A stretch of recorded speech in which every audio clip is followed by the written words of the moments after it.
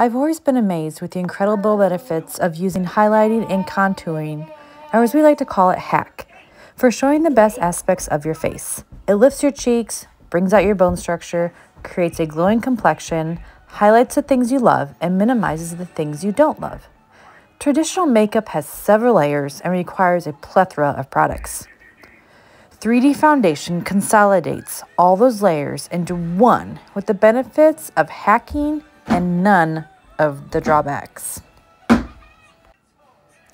It's catered to your skin tone, so you only need to buy what you need when you need it. And you never create waste by disposing of a perfectly good compact. Highlighting foundation for coverage and brightening shadow foundation for coverage and contouring and blush for enhancing your complexion. The perfect double-ended brush to apply it all and blend IIID foundation is buildable, coverage to fit your needs, and that sculpted glow. All in one super quick layer. So you can actually have your cake and eat it too.